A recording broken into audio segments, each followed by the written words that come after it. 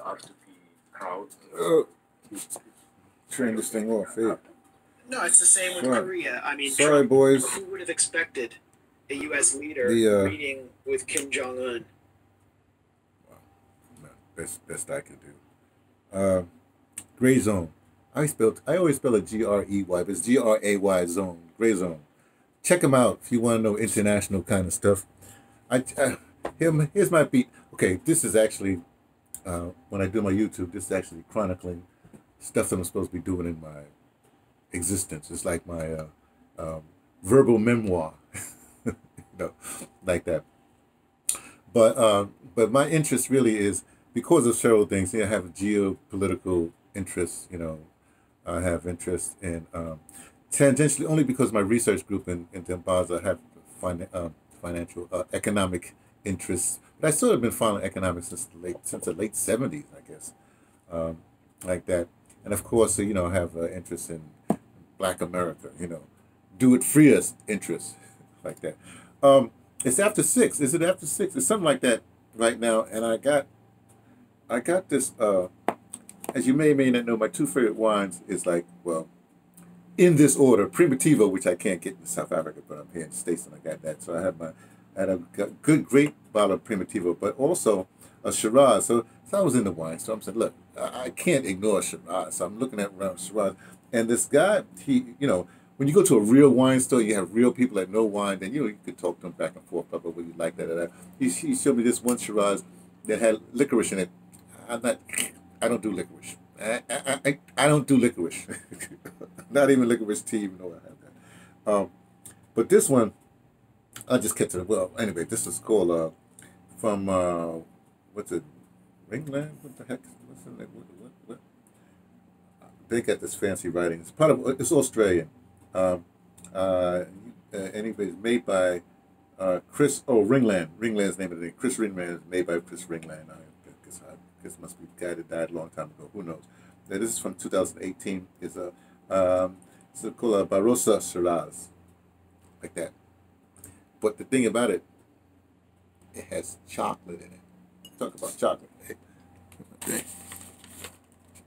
Now, when you have real chocolate, this is like this is like 88%. I got one that's 92 over there, 88%. We have real chocolate. It's not like eating like your, your Mars bars or something like that. You know, you can't eat it like that. You you take a you take a piece of chocolate and it's so rich that you don't have to. You, you understand what I'm trying to say. Anyway, so anyway, so this one has chocolate. I'm at the end of it. I've been chomping on it for the last, uh, I say three days, whatever it is. So I'm pouring the last bit right now. Have right now as I speak at you. It's not going to be long. Well, maybe it will be long. But anyway, I was listening to the Gray Zone. You know, they're talking about uh, uh, the Horn of Africa. You know, up there where it's remember they're beating up on Yemen over the other side, but you know you got you got you got Somalia, uh, Eritrea, uh, uh, I guess Ethiopia's in there someplace. You know, up there, up there, by, the uh, right below the Suez Canal. You know? Anyway, uh, when this thing happened with Afghanistan, now it sounds like I'm jumping, but I'm not jumping. I said, "Oh boy, this is not good." Afghan war is like over for the United States. What they going to do now? Want to guess? Africa. Hey, Africa. The people. uh, uh, This the same thing with Kwame Nkrumah. Somebody, uh, some um, uh, Mike Sargent just sent me a thing through Instagram about. I guess it was Kwame Nkrumah. Somebody speaking at the UN a long time ago. Basically, it says the same thing. Africa, Africa is not poor. Okay, forget that poor, starving Africans. Africa is not poor. Africa is not poor. The leadership and a bunch of other things that put that that that, that it's like it's like what they try to do to Cuba, what they try to do with all these countries. They try to destabilize. They make the they try to make the people poor, so the people revolt against their leadership, which I guess they should revolt against because leadership keeps on selling them out, right? whatever, or they or whatever. Then that's what makes a country poor or whatever. Africa can grow its own food, everything like that, to keep the GMOs out, blah blah blah. Now they got South Africa also, the, the Southern Africa. Well, Southern Africa's got a little spark there. They had to kill a few people uh, recently. You know, mean, Tanzania. There's some stuff happening in, in uh, uh, Madagascar, trying to get rid of that cat. You know, all these people start to speak up. I don't know what's going to happen with the Ghanaian uh, president. I don't know what's happening there. Uh, uh, what's happening? What's happening with Nigeria? is that boy still sick or whatever? The, the general they brought back, I don't know what's happening with them guys. Anyway, the point really is that except for South Africa with the economy, and then uh, uh, and then you have the economy of uh, of Nigeria, big economies, right? I'm not going over. I'm not going over to Angola or nothing like that, or whatever it is. But you know, because Cyril Ramaphosa is, is, is, is in their pocket, you know I mean, like that, then they sort of got South Africa sort of sewed up, you know I mean? That's why all the stuff that you hear, that, or anytime you see South Africa do something, it's always whatever the West does, whatever the United States does, says, that's what they do. Why? Because, okay, but here's the interesting thing because now they got to go. They try, I guess, trying for the horn. It is all over Africa. They, they use trying to start raiding Africa. Even they even have that, that what they call a soft imperialism, the soft power. And that's why they have that basketball league that the NBA is trying to start. I guess they are starting in in, in Africa, and, and Barack Obama is the face of that. You know, so so that the, they have everybody bouncing balls and not paying attention to the political things or the economic things. That's what it is. But here's what's happening. In my okay remember my brain i keep on getting stuff from all over the place and i, I keep on listening. I listen i research and sometimes i even look i even okay i shouldn't say this sometimes i even look at academic papers.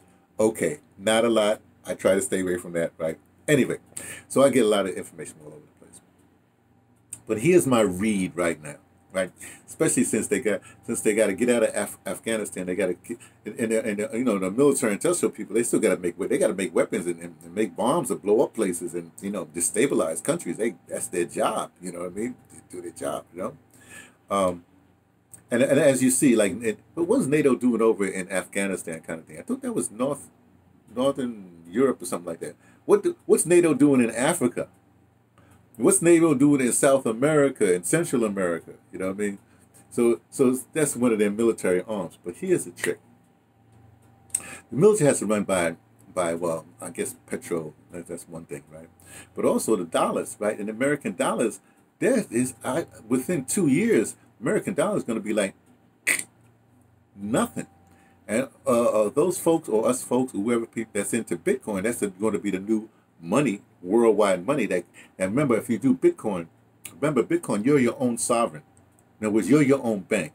Nobody, no country can do anything. That's why they're going to have all these, uh, the, the, what do you call those, the, the Federal Reserve. They're going to make their own, trying to make their own coin so everybody can go there. Oh, we got digital coin. We got digital coin. No, that's not Bitcoin. Bitcoin is decentralized. If, if, if somebody can pull a plug on your coin, you're not a coin. Oh, you are a coin.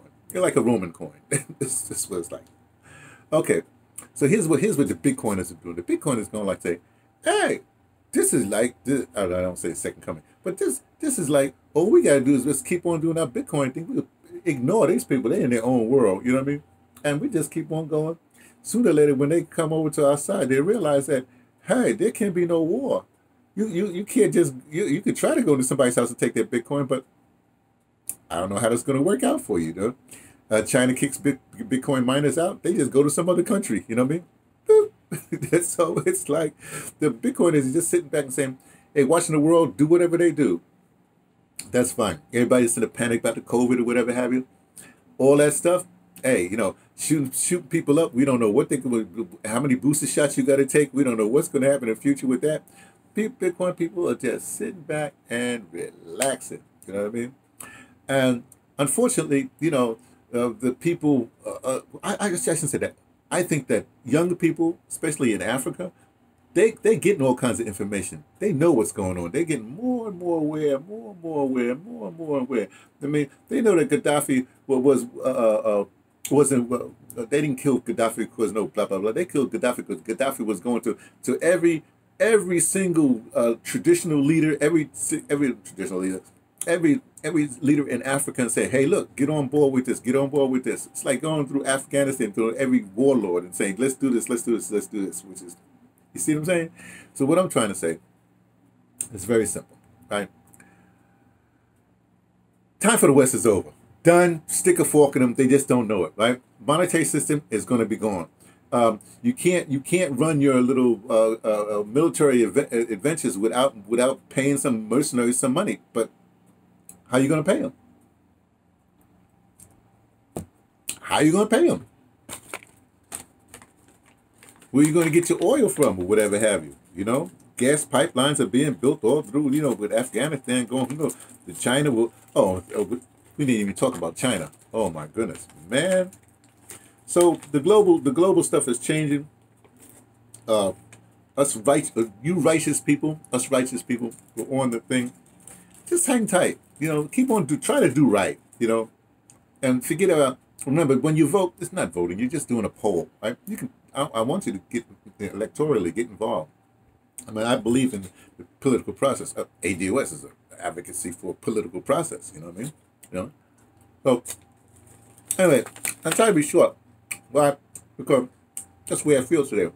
Chocolate, Shiraz, everything is hunky dory. Things are going magnificently well for the downtrodden, not for the people in the. They got plans, but their plans cannot beat the downtrodden. There's too many of us. Us being, um, me being one of those us, me being T from the Patterson State, the train to Tibet, letting you know what I only suspect.